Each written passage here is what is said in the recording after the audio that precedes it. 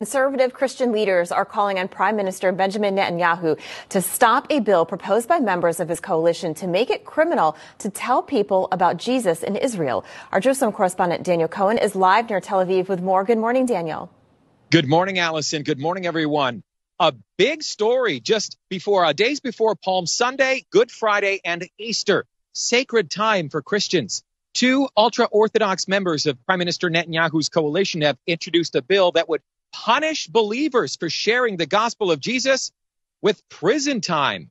United Torah Judaism Knesset members Moshe Gafni and Yaakov Asher introduced legislation last week making it illegal to share in conversation or produce content online, in print, or by mail.